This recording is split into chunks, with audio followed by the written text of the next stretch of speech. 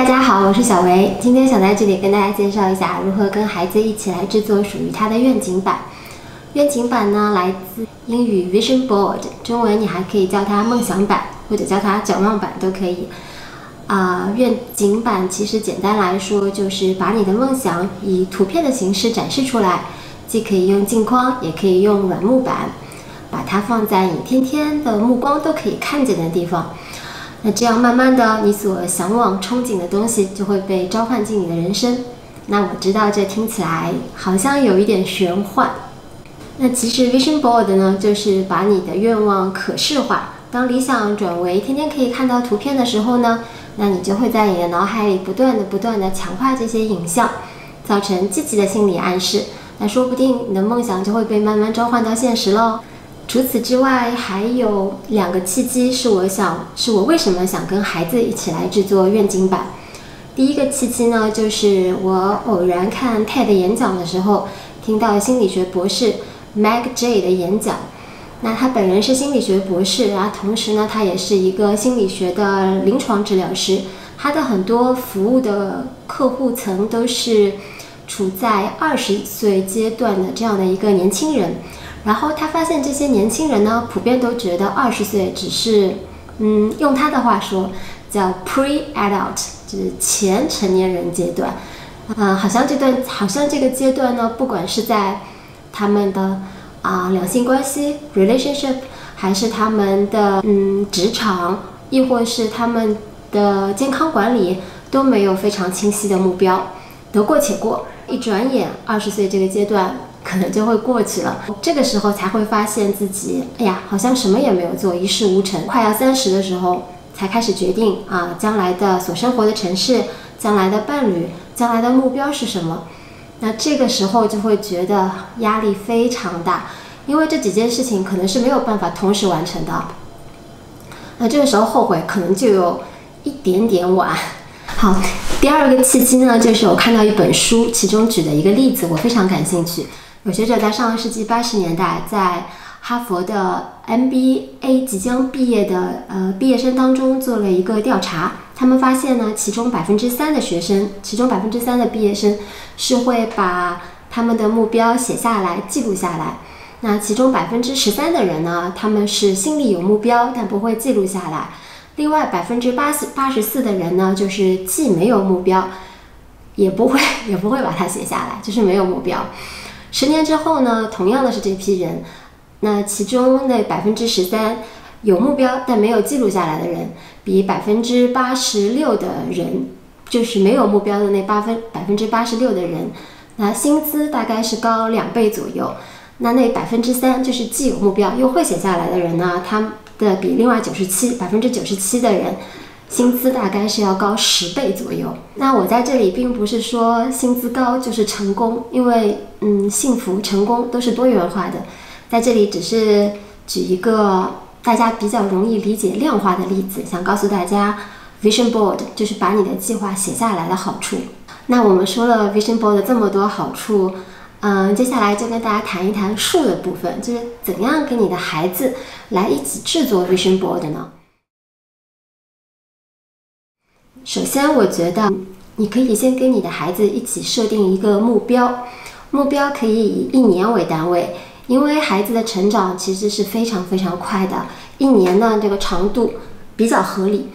其次的话呢，一定要记得是要设定一个可以实现的、够一够可以达到的目标，因为如果设定一个太好高骛远的目标，孩子发现通过努力也没有办法完成，这可能会对他的自信心是一个。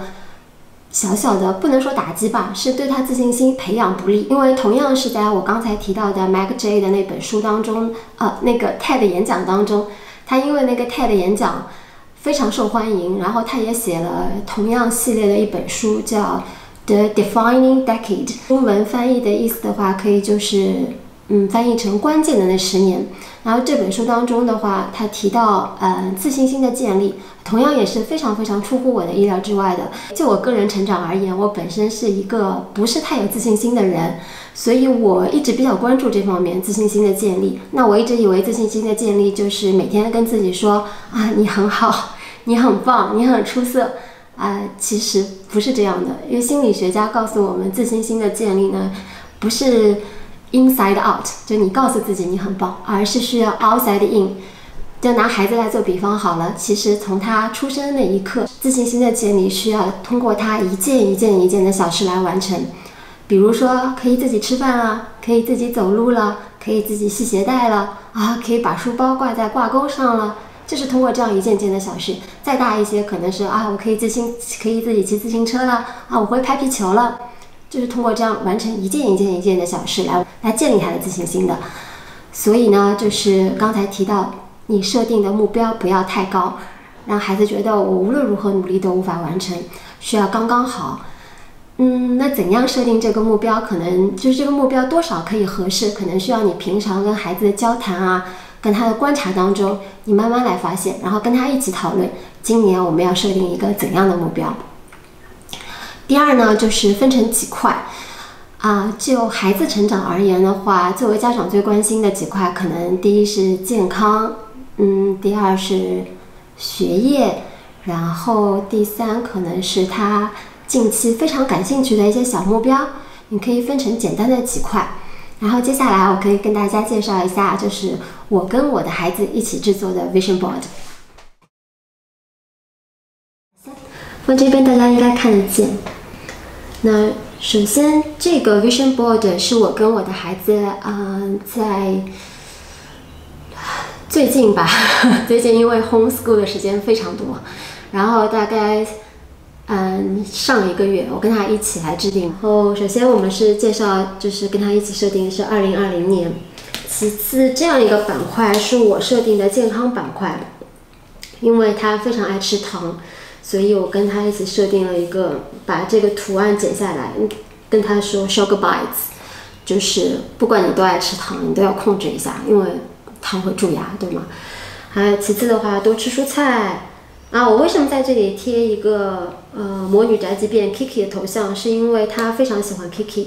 那我本身呢也很喜欢宫崎骏动画里女生的形象，都非常的勇敢、自信、有主见啊。我希望我的女女儿就能长成这样的女孩子。那她本身也很喜欢，所以我跟她一起找了图案，把它剪贴下来。这里是今年希望她可以完成的。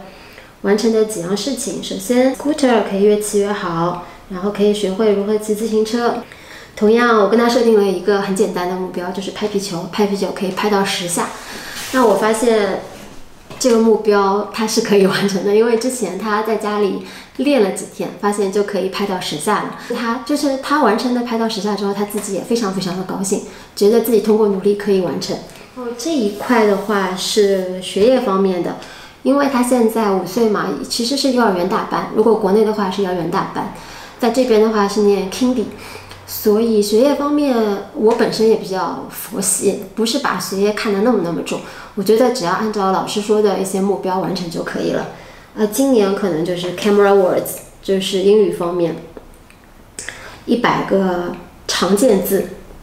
其次就是学会认钟，希望他可以有时间的概念。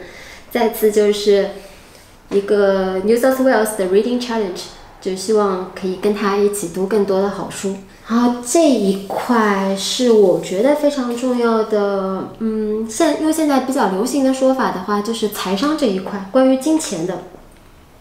首先，我希望我的孩子弄懂就是 want 跟 need 的区别。我们可能有非常非常多的 wants，但是其实我们的 needs 并不是那么的多。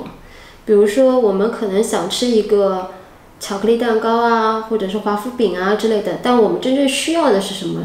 需要的是新鲜的食物、新鲜的水果、蔬菜就可以了。所以搞清楚 what we want 跟 what we need 之后的话，我希望他买一些他想要的玩具的时候，他可以想一想：我是真的想要吗？我是真的需要吗？然后再想到底要不要买。